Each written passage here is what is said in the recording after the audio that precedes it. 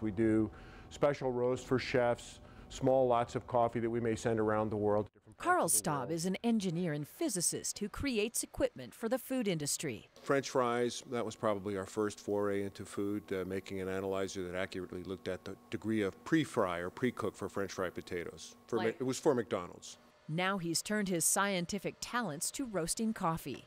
This is how the coffee comes in from different countries. We buy this from a broker. You can look inside the bag here and see the seeds.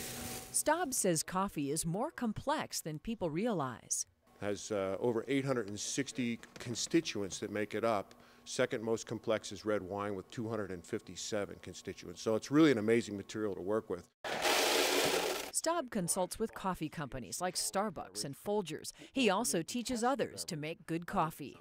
Did you smell this? I mean, this Reno cardiologist Costa Arger has become a fan of Staub's coffee. with someone like Carl, he can help define why is this one not tasting good and why does this one taste better. So, what's the biggest mistake people make at home?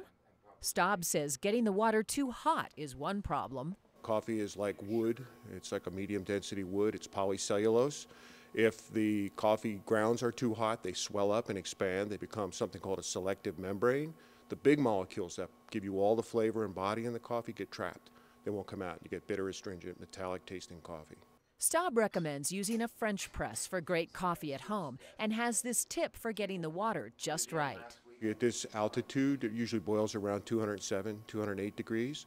So you bring it to a rolling boil and you let it settle for a minute or two before you let it contact the grounds.